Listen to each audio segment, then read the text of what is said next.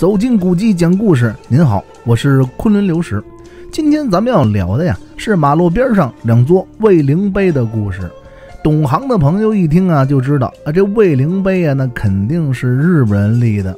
为什么呢？因为只有日本人才管墓碑叫做卫灵碑呢。从这字面上啊，您就能听得出来，这“慰灵”二字啊，有慰藉死者灵魂的意思。那么，什么样的人才需要慰藉灵魂呢？啊，那多一半啊，那都是不得好死。您看我身后呢，就是两座这日本时期的慰灵碑。其实这种慰灵碑呢，就是日本人啊，为了纪念当年在这个侵华战争当中日本死难者啊他们所谓的那些英雄，然后建立的。啊，这两座卫灵碑啊，它可不是在东北，不是在过去的伪满洲国，它的位置啊就在北京现在的这个北京市政府所在地的通州区。我身后呢就是京津公路，啊，非常不好找。它在通州区梨园镇的这个呃小街村的村南，因为现在啊这个小街村都没有了，我费了很大劲才找到。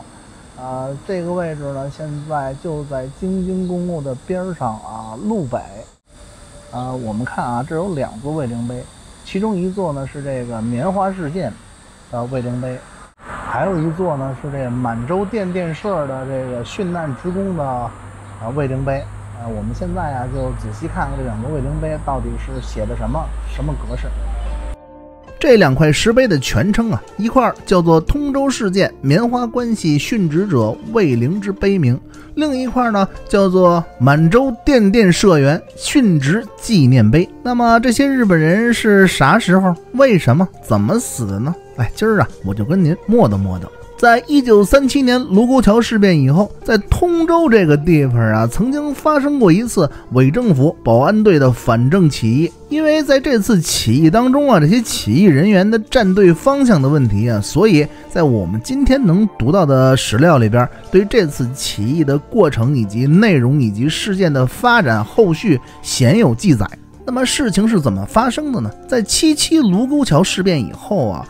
这国民政府的电台呢，对外是这样宣传的：在卢沟桥战役当中啊，二十九军大败日军，中国军队已经陆续夺回了丰台以及廊坊诸地，政府将陆续向华北派遣野战军，并且啊，电台中还声明，蒋委员长命令附近的二十九军将大举进攻冀东，学习伪都通州，并血祭汉奸。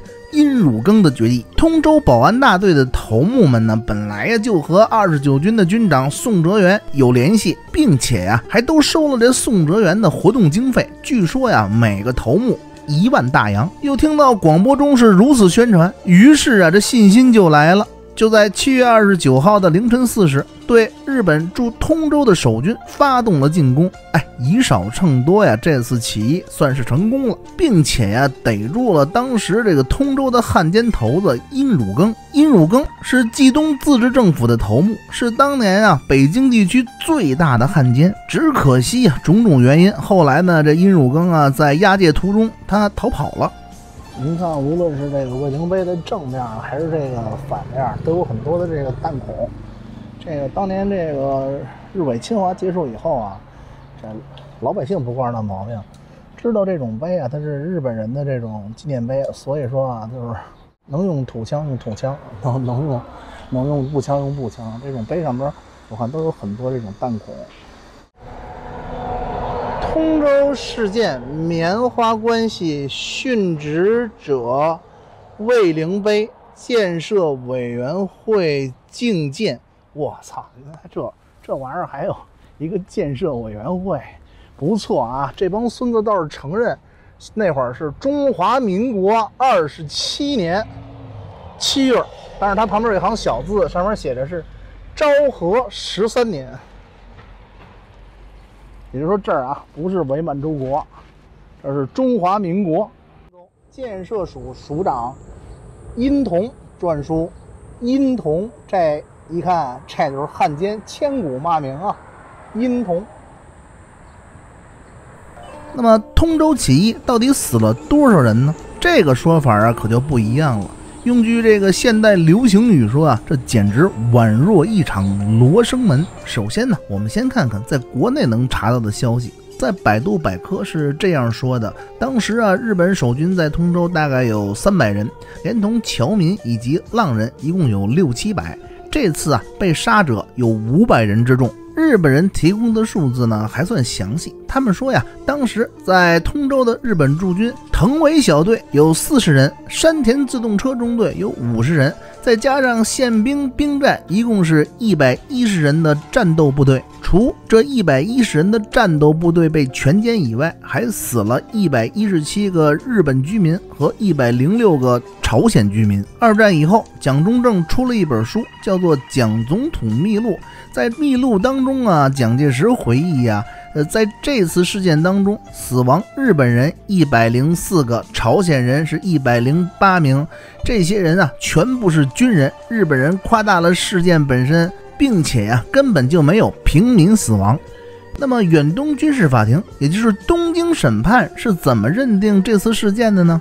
法庭认为，通州保安队的中国士兵杀死二百五十三个日本官兵以及侨民、顾问和日韩浪人。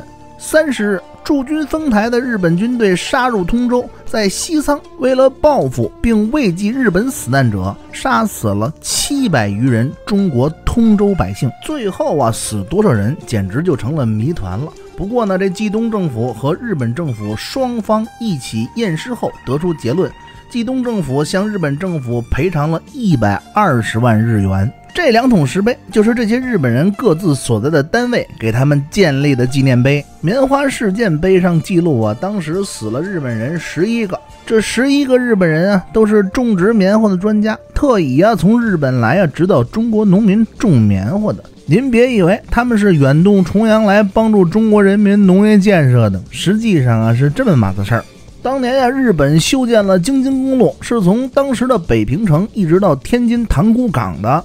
为了防止啊抗日军民啊对这条公路的破坏，所以他们下令啊，在公路两旁二百米的范围之内啊，不能种植。过高的农作物，比如高粱、老玉米什么的，只能种植啊棉花。这主意他一举两得呀，不但防止了在高粱地里藏人，而且呀，这些棉花是日本人的重要军事物资，所以呢，他们在国内啊就找来了种植棉花的专家，教这个沿途的百姓种植技术。棉花种的怎么样啊？咱不知道，反正这帮专家呀是在通州尿去了。那么这满洲电电社又是什么玩意儿呢？这满洲电电社呀是满洲电信电话株式会社的简称，因为背后的碑文呢已经被老百姓凿刻掉了。所以呢，我们并不能辨识这桶石碑的碑文内容。据当地老人讲啊，这碑文中提到过四个日本人的名字，所以我们想啊，这满洲电电社呀，在这次事件中可能死了四个日本人。听说现在的日本右翼分子啊，一提到这件事情啊，还挺委屈，他们呀还要把这件事情申遗。您说他们压着想法多孙子吧？无论在这次事件当中，你们死的是军队还是平民，哎，你们个日本人凭什么死在了中国的土地上？你先把这件事情解释清楚了。